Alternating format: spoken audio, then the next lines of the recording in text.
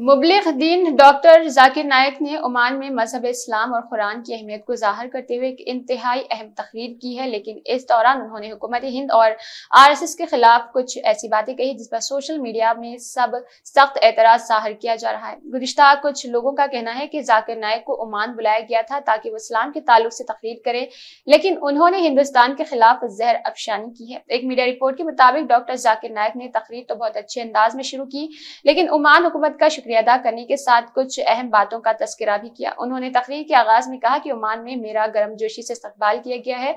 इसके लिए मैं तहे दिल से शुक्रगुजार हूँ। फिर उन्होंने पूरी दुनिया के मुसलमानों से मज़हब इस्लाम की तबलीग के लिए आगे आने की अपील की है और बताया जाता है कि कुछ देर की तकरीर के बाद बहुत ही अखलमंदी के साथ डॉक्टर जाकिर नायक ने हुकूमत हिंद और वजी अजम मोदी को तनकीद का निशाना बना दिया उन्होंने हिंदुस्तान में मुसलमानों पर होने वाले मुसालिम का तस्करा किया और मोदी हुकूमत के साथ साथ आर को भी हदफ तनकीद बना दिया है।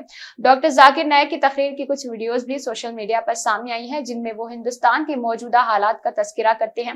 वाज रहे कि डॉक्टर जाकिर नायक को मान में लेक्चर देने के लिए मदू किया गया। लेक्चर उन्होंने पेश कर दिया, जिसमें मुबैना तौर पर उन्होंने हुकूमत हिंद पर जहर अफशानी की है। ओमान में डॉक्टर जाकिर नायक के इस प्रोग्राम की पेश नज़र हुकूमत हिंद ने हुकूमत ओमान से रबता किया था और गुजारिश की थी कि उन्हें मुल्क में न आने दे। हुकूमत हिंद ने कहा कि डॉक्टर जाकिर नायक इश्तालंगेज तकरीर करते हैं और हिंदुस्तान में उनके खिलाफ कई मामले भी दर्ज है। इससे खबर ये भी खबर सामने आई है कि हिंदुस्तानी एजेंसियाँ ओमान के अफसरान से रबते में है ताकि डॉक्टर जाकिर नाइक को हिरासत में लिया जा सके।